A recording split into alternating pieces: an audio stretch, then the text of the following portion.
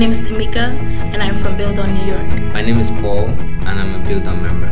My name is Ronnie Davis, and I am a member of buildOn. My name is David O'Neill. I'm from Detroit, and I'm a member of buildOn. Service is important to me because it makes me feel special that I can actually go and help someone else, either older than me, younger than me, and make them feel special. It gives you a chance to learn about things that you may not read in the newspaper or you may not see on the news, you may not read in books. Doing service uh, gives me a chance to give back to the community. I'm able to help others. It's not all about me, and it's like a way to give back. I've learned a lot, especially from when you deal with kids with disabilities.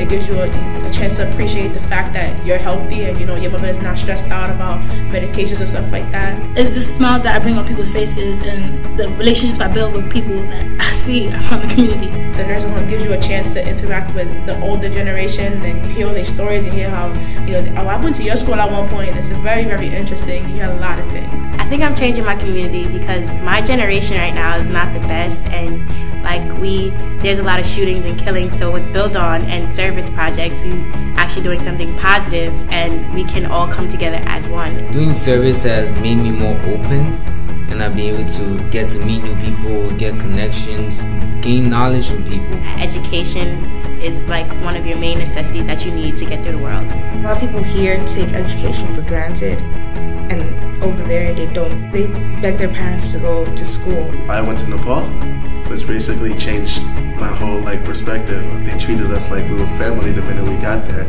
and it like just like opened my heart. I went to the uh, 2012 aids walk for detroit it's important to me because i lost my grandmother who i didn't get a chance to meet to aids and uh, it kind of hits me in the heart when buildOn is a is a place to have fun buildOn is like a home. It's like my new family. It's a place to change the world. It's a place to change your community. It's becoming my future. Like this is what I want to do. buildOn means a path to improvement, a path to um, knowledge, to, to a better state. Just wake up and realize, you know, you're not alone. It's not only one person. You have to have hope. Without hope, there's no success.